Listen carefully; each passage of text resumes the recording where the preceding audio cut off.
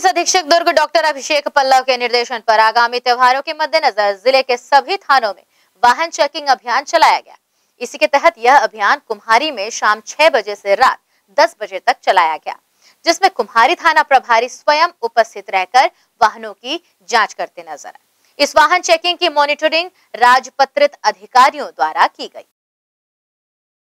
अभी रोड में बढ़ते अपराध को देखते हुए और जो ट्रैफ़िक है ट्रैफ़िक के नियमों का उल्लंघन करते हुए बहुत लोग उल्टा सीधा गाड़ी चला रहे हैं उस पर कंट्रोल करने के लिए लगातार वाहन चेकिंग कर सघन वाहन चेकिंग कर कार्रवाई की जा रही है। जिनके पास लाइसेंस नहीं है गाड़ी के कागजात नहीं उन पर किस प्रकार की कार्रवाई की जा रही है? उनका चालान काटा जा रहा है।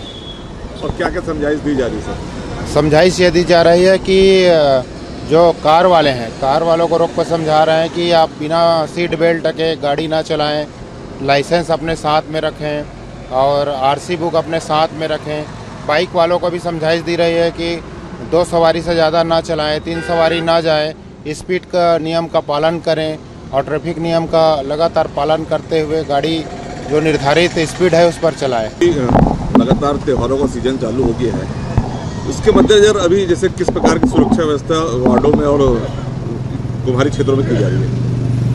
त्यौहार के मद्देनज़र अभी सभी जितने भी सामाजिक संस्थान के लोग हैं और वार्ड वासियों हैं उनका मीटिंग लेकर के त्यौहार के संबंध में जानकारी लेकर जहाँ जहाँ अपराध घटित होने की संभावना है वहाँ पर लगातार सघन चेकिंग अभियान किया जाकर लगातार कार्रवाई की जा रही है।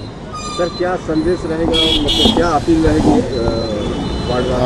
सभी नगर वासियों से अपील ये रहेगा कि शांतिपूर्वक त्यौहार मनाएँ और भाईचारा के साथ रहें और कहीं भी अपराध परिलक्षित होता है तो तत्काल पुलिस को सूचना दें और पुलिस का सहयोग करें। सर पंडालों को लेके जैसे गणेश पूजा आने वाला है तो कुछ निर्देश जारी हुए हैं क्या? कलेक्ट्रेट से निर्देश जारी हुए हैं उसी निर्देशों का पालन करते हुए और कोविड जो वो है गाइडलाइन है उसका पालन करते हुए गणेश पंडाल बनाए जाएँ और गणेश स्थापित किए जाए।